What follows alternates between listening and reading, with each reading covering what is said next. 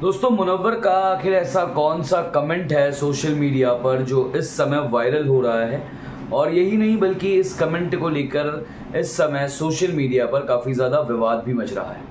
आखिर क्या ऐसा लिख दिया है मुनव्वर ने उस कमेंट सेक्शन में, जिसके बाद इस तरीके के लोगों के ओपिनियंस हमको देखने को मिल रहे हैं, जिसके बाद कथित तौर पे बहुत अलग अलग तरीके के लोगों की प्रतिक्रियाएँ उस कमेंट पर आ रही हैं। कुछ लोग तो ये कह रहे हैं कि भाई, पहले से ये सारी चीज़ें जानता है तो कुछ का ये कहना है कि भाई, क्या लिख रहा है ये सब?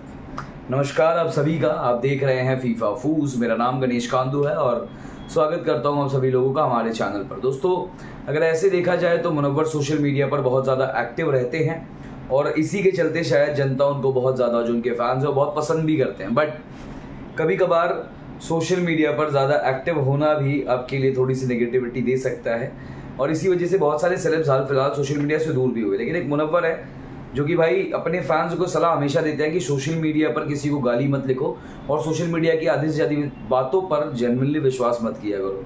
लेकिन अब यहाँ पर मुनव्वर खुद ही ये मज़े लेने के लिए लिखा है उन्होंने, ज़ाहिर सी बात है, आप देख सकते हो मुनव्वर का एक कमेंट है एक आई पे।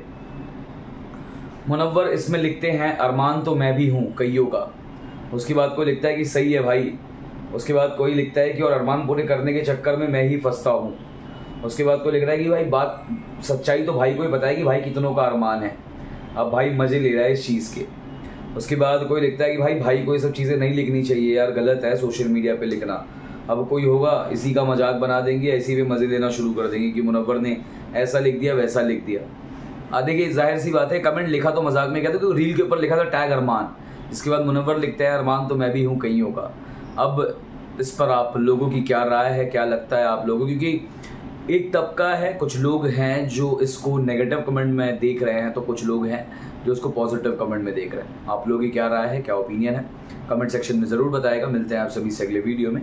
धन्यवाद।